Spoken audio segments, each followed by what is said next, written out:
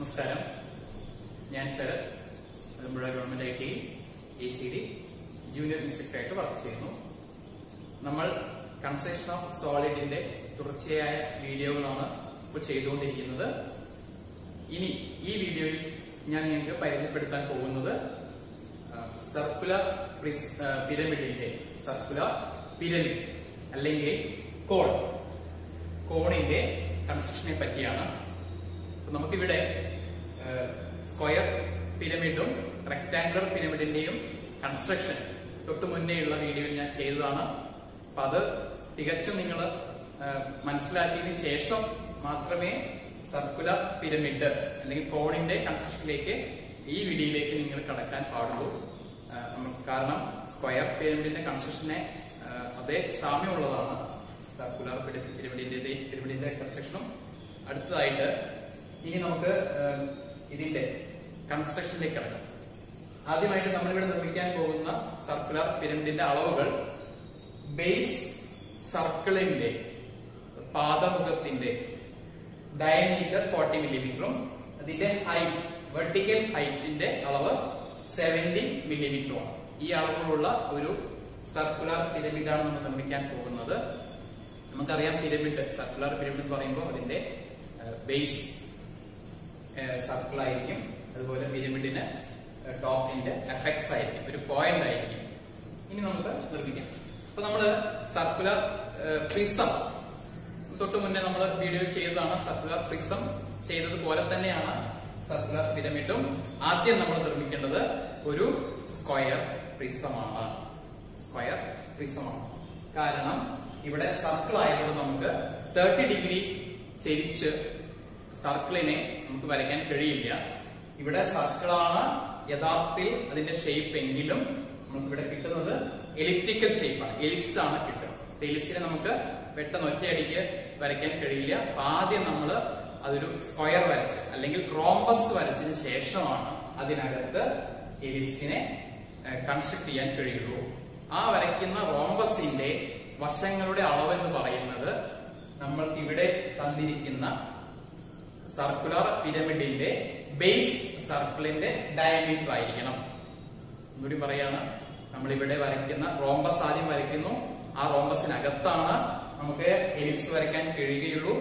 ആ നമ്മൾ വരയ്ക്കാൻ പോകുന്ന റോംബസിന്റെ വശങ്ങളുടെ അളവ് എന്ന് പറയുന്നത് എപ്പോഴും ഇവിടെ തന്നിരിക്കുന്ന ബേസ് സർക്കിളിന്റെ ഡയമീറ്ററിന് തുല്യമായിരിക്കണം. ബേസ് സർക്കിളിന്റെ ഡയമീറ്റർ എത്രയാണോ ആ അളവിലുള്ള വശങ്ങൾ വരത്തക്ക രീതിയിലുള്ള റോംബസ് ആണ് നിർമ്മിക്കേണ്ടത്. അത് സർക്കുലർ പിരമിഡിന്റെ കേസിലും അതുപോലെ തന്നെ സർക്കുലർ പ്രിസത്തിന്റെ കേസിലും അതേപോലെയാണ്. നമുക്ക് ആദ്യം ഒരു റോംബസ് വരച്ചു തുടങ്ങാം. ആദ്യം ബേസ് ലൈൻ വരയ്ക്കുന്നു. ഇവിടെ ഫോർട്ടി മില്ലിമീറ്റർ ആണ് സർക്കിളിന്റെ ഡയമീറ്റർ ആയതുകൊണ്ട് റോംബസിന്റെ വശങ്ങൾ ഫോർട്ടി മില്ലിമീറ്റർ ആയിരിക്കും. റോംബസ് വരയ്ക്കാൻ വേണ്ടിയിട്ട് നമുക്ക്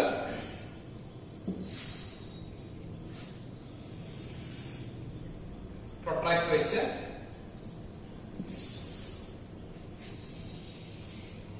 പ്രൊട്രാക്ട് വെച്ച് thirty degree thirty degree ninety degree. ഈ തേർട്ടി ഡിഗ്രിയുടെ നമുക്ക് ഫോർട്ടി മില്ലിമീറ്റർ റോമസിന്റെ വശം വരയ്ക്കുന്നു. അതുപോലെ ഈ തേർട്ടി ഡിഗ്രിയിൽ റോമസിന്റെ മറ്റൊരു വശം വരയ്ക്കുന്നു. നയന്റി ഡിഗ്രിയിൽ നമ്മൾ നമ്മുടെ പ്രിസത്തിന്റെ അല്ലെങ്കിൽ പിരമിഡിന്റെ.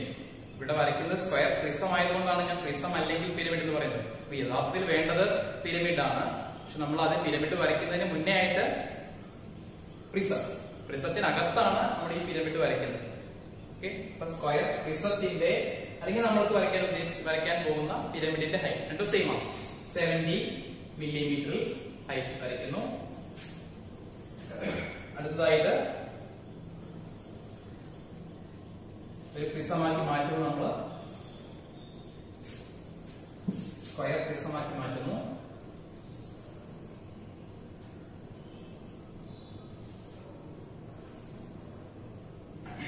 ഇപ്പൊ നമുക്ക് ഫോർട്ടി മില്ലിമീറ്റർ വശങ്ങളുള്ള അതുപോലെ സെവന്റി മില്ലിമീറ്റർ ഉയരമുള്ള ഒരു സ്ക്വയർ പ്രിസം കിട്ടി.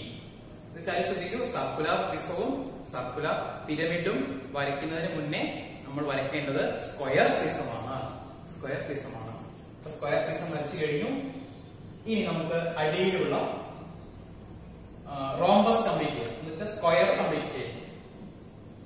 നമുക്ക് ഈ എഡ്ജിന് ഈ വശത്തിന് പാരലായിട്ട് ഇവിടെ വരയ്ക്കുന്നു. ഡോട്ട് ലൈൻ ആണ് യഥാർത്ഥത്തിൽ വേണ്ടത്. പക്ഷെ ഇവിടെ നമുക്ക് ഇവിടെ ഇവിടെ റോംബസ് ആണ് നമുക്ക് ആവശ്യം. കാരണം ഈ റോംബസിനകത്ത് നമുക്ക് വരയ്ക്കേണ്ടത് എലിപ്സ് ആണ്. ഡോട്ട് ലൈൻ വരയ്ക്കാൻ നിർബന്ധമില്ല. അത് കഴിഞ്ഞ് ഇതിന് പാരലായിട്ട് തിൻ ലൈനിൽ വരയ്ക്കുന്നു. നമുക്ക് ഈ റോമസിന്റെ ഈ ലൈൻ നമുക്ക് മായ്ച്ചു കളയാം. നമുക്ക് റോമസ് കറക്റ്റ് ആയി കിട്ടി. ഇവിടെ റോമസ് കിട്ടി. ഇനി അടുത്തത് നമ്മൾ സർക്കുലർ പ്രിസം വരയ്ക്കുമ്പോൾ ഞാൻ പറഞ്ഞിട്ടുണ്ടായിരുന്നു ഇതിനകത്ത് എയ്ഡ്സ് വരയ്ക്കേണ്ട മെത്തേഡ് ഞാൻ പറഞ്ഞിരുന്നു. ഒരു പ്രാവശ്യം കൂടി പറയുകയാണ്. നമ്മൾ ആദ്യം ചെയ്യേണ്ടത് ആദ്യം ചെയ്യേണ്ടത് ഈ റോംബസിന്റെ നാല് വശങ്ങളുടെ സെന്റർ പോയിന്റുകൾ കണ്ടുപിടിക്കുക. ഈ വശത്തിന്റെ സെന്റർ പോയിന്റ് ഇത് ഫോർട്ടി മില്ലിമീറ്റർ ആയതുകൊണ്ട് സെന്റർ പോയിന്റ് ട്വന്റി മില്ലിമീറ്റർ ആണ് വരിക. അങ്ങനെ എല്ലാ വശങ്ങളുടെയും സെന്റർ പോയിന്റ് കണ്ടെത്തിയതിനു ശേഷം അടുത്തത് ഈ നാല് കോണുകളിൽ റോംബസിന്റെ നാല് കോണുകളിൽ ഏറ്റവും വലിയ കോൺ ഒക്യൂസ് ആംഗിൾ ഏതെന്ന് കണ്ടെത്തുക. വലിയ കോൺ ഇത് രണ്ടും ചെറിയ കോണാണ്. ഇത് വലിയ കോണാണ്. ഇതാണ് ഒരു കോൺ. അതേപോലെ തന്നെ സെയിം ആംഗിൾ ആണ് മുകളിൽ. ഈ രണ്ട് വലിയ കോണുകൾ കണ്ടെത്തുക. ഇതാണ് ആദ്യമായിട്ട് റോമസിനകത്ത് എലിപ്സ് വരയ്ക്കുമ്പോൾ നമ്മൾ ചെയ്യേണ്ടത്. ആദ്യം നാല് വശങ്ങളുടെ സെന്റർ പോയിന്റ് കണ്ടെത്തുന്നു. വലിയ ആംഗിളുകൾ കണ്ടെത്തുന്നു. അതിനുശേഷം ഈ വലിയ ആംഗിളിൽ നിന്ന് അതിന്റെ എതിർവശങ്ങളിലെ മിഡ് പോയിന്റ് സെന്റർ പോയിന്റുകളിലേക്ക് തിൻ ലൈൻസ് വരയ്ക്കുന്നു. ഇതെല്ലാം തിൻ ലൈൻസ് ആയിരിക്കണം. കാരണം നമ്മൾ ഇതൊക്കെ വരയ്ക്കുന്നത് എലിപ്സ് വരയ്ക്കാൻ വേണ്ടിയിട്ടാണ്. എലിപ്സ് ആണ് നമുക്ക് ഇവിടെ ആവശ്യമുള്ളത്. അത് മാത്രമേ തിക് ലൈനിൽ വരയ്ക്കാൻ പാടുള്ളൂ. ബാക്കിയുള്ള എല്ലാം ഈ സ്ക്വയർ പ്രിസം അടക്കം എല്ലാം നമ്മൾ തിൻ ലൈനിൽ വരയ്ക്കാൻ പ്രത്യേകം ശ്രദ്ധിക്കണം. ഇതേപോലെ വലിയ ആംഗിളിൽ നിന്ന് ഓപ്പോസിറ്റ് മിഡ് പോയിന്റിലേക്ക് സെന്റർ പോയിന്റിലേക്ക് വരച്ചതുപോലെ മുകളിലെ വലിയ ആംഗിളിൽ നിന്ന് താഴെയുള്ള അതിന്റെ എതിരെ കിടക്കുന്ന സെന്റർ പോയിന്റിലേക്ക് സ്ട്രേറ്റ് ലൈൻസ് വരയ്ക്കുന്നു ഇനി അടുത്തത് നമ്മൾ കോമ്പസ് എടുക്കുന്നു.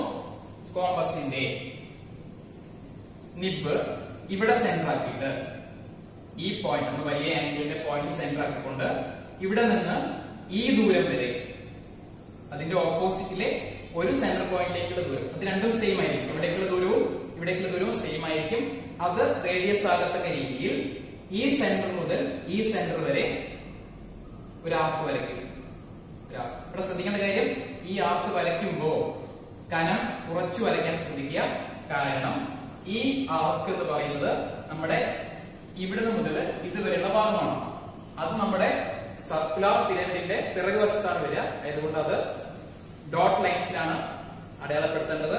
നമുക്കത് വരച്ചതിന് ശേഷം ചെയ്താൽ മതി. തൽക്കാലം ഇത് തിക് ലൈൻ വധിക്കാൻ ശ്രദ്ധിക്കുക. കാരണം വായിച്ചു കഴിക്കുമ്പോൾ പ്രത്യേകത സാധ്യത കൂടുതലാണ്. അതുകൊണ്ട് തിൻ ലൈനിൽ വരയ്ക്കുന്നു. അടുത്തത് ഇതേപോലെ മുകളിലെ വലിയ ആംഗിളിന്റെ പോയിന്റ് സെന്റർ ആക്കിക്കൊണ്ട് നേരെ തിരിച്ച് ഇവിടെ ചെയ്ത പോലെ തന്നെ തിരിച്ച് ഇവിടെ ഇവിടെ നിപ്പ് വെച്ച് ഇതുവരെയുള്ള ദൂരം റേഡിയസ് എടുക്കുന്നു. തിരിച്ച് ആർക്ക് വരയ്ക്കുന്നു. ഇപ്പൊ നമുക്ക് രണ്ട് ആർക്ക് കിട്ടി. ഇനി നമുക്ക് കോർണറുകൾ കോർണറിലാണ് വരയ്ക്കേണ്ടത്. അതിനുവേണ്ടി കോമ്പസ് ഇവിടെ സെന്റർ ആക്കുന്നു. അതായത് നമ്മുടെ ഈ ലൈനും ഈ ലൈനും കൂടി ഇന്റർസെക്ട് ചെയ്യുന്ന പോയിന്റിൽ സെന്റർ ആക്കിയിട്ട് ഇത്രയും ദൂരം ഇത്രയും ദൂരം റേഡിയസ് എടുത്ത് ഒരു ആർക്ക് വരയ്ക്കുന്നു. ഇതേപോലെ തിരിച്ച് ഇവിടെ സെന്റർ ആക്കിക്കൊണ്ട് ഇവിടെ നിന്ന് ഈ റേഡിയസ് അത് നേരെ ഇവിടെ എടുത്തത് തന്നെ സെയിം ഡിസ്റ്റൻസ് ആയിരിക്കും. തിരിച്ച് ഇവിടെ ആർക്ക് വരുന്നു ഇപ്പൊ നമുക്കൊരു എയ്ഡ്സ് കിട്ടി.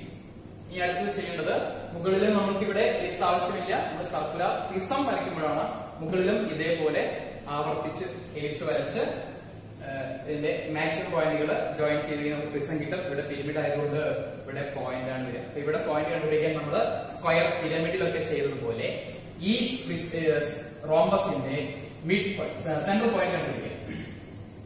ഈ റോംബസിന്റെ സെന്റർ പോയിന്റ് കണ്ടുപിടിക്കുക. അതിന് വേണ്ടിയിട്ട് ഡയഗണൽസ് വരച്ച് ജോയിൻ ചെയ്യണം ഡയഗണൽസ് കൂട്ടിവിടുന്ന പോയിന്റ് ആയിരിക്കും അതിന്റെ സെന്റർ പോയിന്റ് നമ്മുടെ ഇവിടുത്തെ അപ്പെക്സ് അല്ലെങ്കിൽ വെർട്ടെക്സ്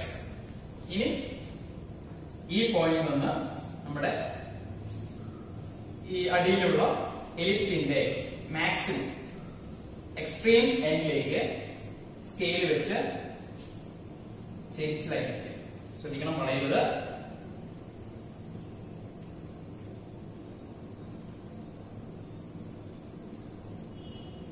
എക്സ്ട്രീം എൻഡിലേക്ക് ലൈൻ വരയ്ക്കുന്നു. അതുപോലെ ഇവിടെയും അടുത്തതായിട്ട് ഈ- ഈ ഭാഗം നമുക്ക് ഡോട്ട് ലൈൻ ആക്കേണ്ടതുണ്ട്. അതിന് മുന്നേ നമുക്ക് ഈ പ്രിസത്തിന്റെ ലൈൻസുകളിൽ നമുക്ക് ഇറേസ് കളയാം.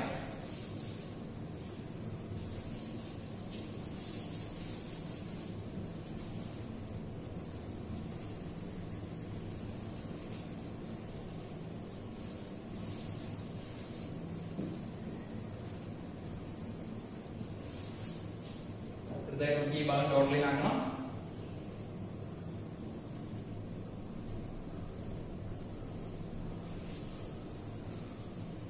ഇതാണ് ഒരു സർക്കുലർ പിരമിഡ് അല്ലെങ്കിൽ കോൺ നമുക്ക് അതിന്റെ ഡയമെൻഷൻ ചെയ്യാം. ഇതിന് മുന്നേ സെന്റർ ലൈൻ ആക്സിസ് വരയ്ക്കാം.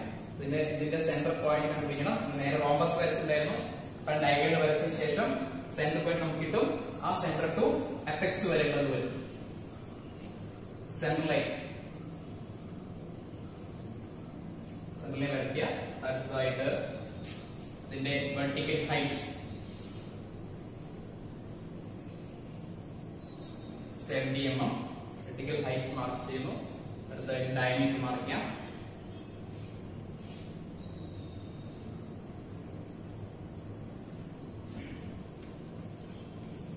ഫോർട്ടി എം എം ഇങ്ങനെയാണ് ഒരു സർക്കുലർ പിരമിഡിന്റെ കൺസ്ട്രക്ഷൻ നമുക്കിത് നിങ്ങൾക്ക് പൂർണമായി മനസ്സിലായി എന്ന് വിചാരിക്കുന്നു. അടുത്ത വീഡിയോയിൽ നമുക്ക് അടുത്തൊരു സോളിഡിന്റെ അടുത്തൊരു പിരമിഡിന്റെ കൺസ്ട്രക്ഷനുമായിട്ട് വീണ്ടും കാണാം.